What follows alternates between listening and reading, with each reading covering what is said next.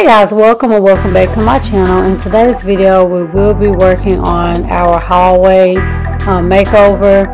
Um, as you can see, it does need a lot of work. Um, we want to redo the flooring.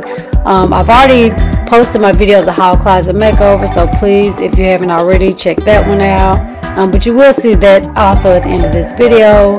There is so much work to be done, so let me get started.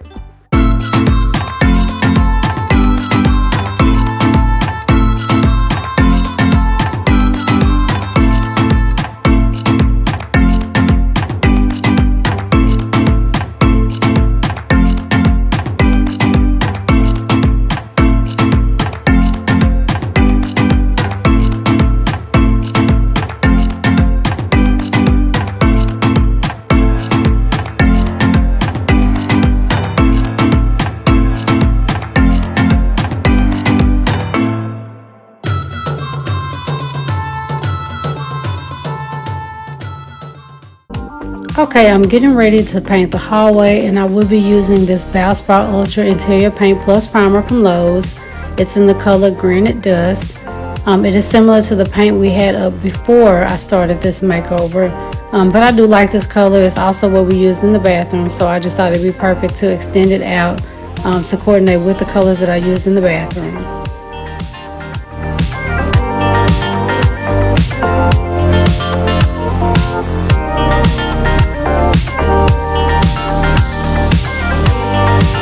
Okay, so the flooring that I will be putting down today is the same flooring that we used in, during our kitchen renovation. And it is this these luxury vinyl planks from the Home Depot uh, made by the Home Decorators Collection in the color or style option Pelican Gray. Um, I do like it because it's waterproof, it does have the underlayment attached, and it uses the click lock system.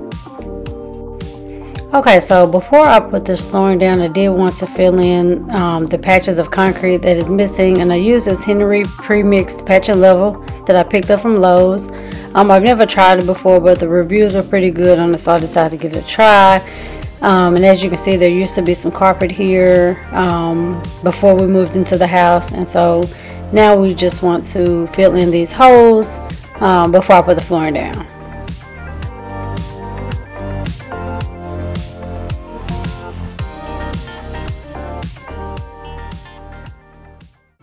Okay, so after I laid all my boards out to create my first row, um, I did have a 4 inch overhang, so I did want to cut 2 inches off the first board of the first row and the last board of the first row um, to make it even um, and make it look more symmetric um, as far as getting the stagger pattern. And then to create this, starting with the second row, I just took a plank and cut it in half. Uh, my husband told me this would just be the easiest way to um, do this and I would use one board for the beginning of the second row and one for the end of the second row. And I will continue that every other row um, as many as I needed and here since this is my first time putting down this type of flooring um, I wasn't trying to cut into doorways or out of doorways. Um, I decided to just do that part separate. So I just made all my measurements um, and I came out and of course you see me marking them on my board um, and then I went oh, on my plank I should call it my plank. Um, and here I just cut cut in half and then I'll go ahead and cut off the piece that I need for one of the doorways. And I did this for um, every doorway down the hall. Um, I didn't record me cutting all of them and putting them in but this was um, the way I did that. And it turned out just fine by doing it this way. And then I just used my jigsaw of course to just cut it off so here I am just putting the flooring down and I'm just going to add continue this time lapse so you guys can just see. Um, this is not a tutorial because this is my first time putting it down but um, it wasn't too hard so I'll just let you guys enjoy the rest of this video.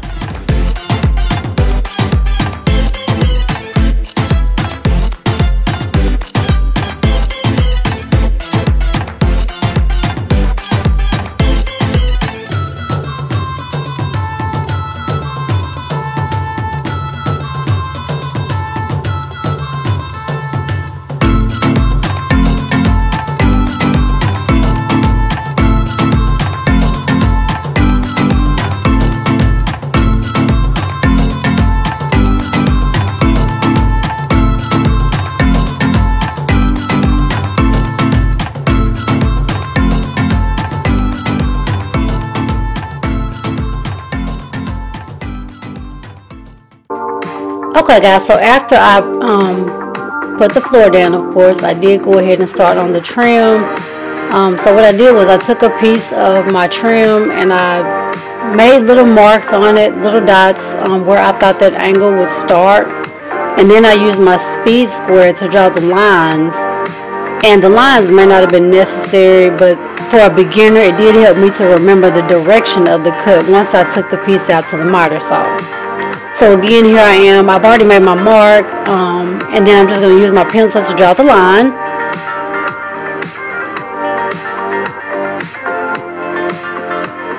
So once I went out to the saw and cut all the pieces, I did come back in and I was going to go ahead and nail this one up, but then I thought maybe I should first do a drop fit just to make sure it fits. So I took um, a piece of the trim and just put it up to see if it fit, to see how big my gap was, um, because it wasn't perfect, obviously.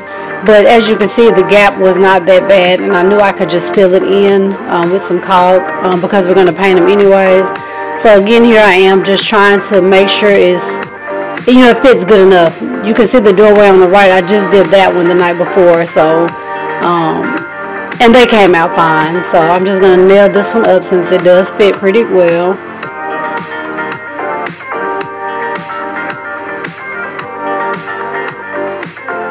And then the left piece, um, I did have to go back out and cut this one a little bit more because I didn't quite get it right. But um, that's an easy fix sometime on these. So I did go out and cut it and it turned out just fine.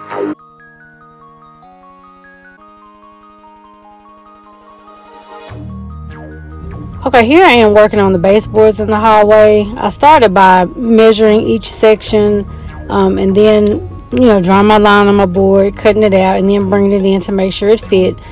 I did this twice, but then I thought that it'd be a better idea to just go ahead, measure as many sections that I could that would fit on this full length board, and then come out here and cut them all at one time. So as you can see here, I measured one section, drew my line, measured another section from that line, and so forth. And I did this all the way down the board, as you know, as many as I could.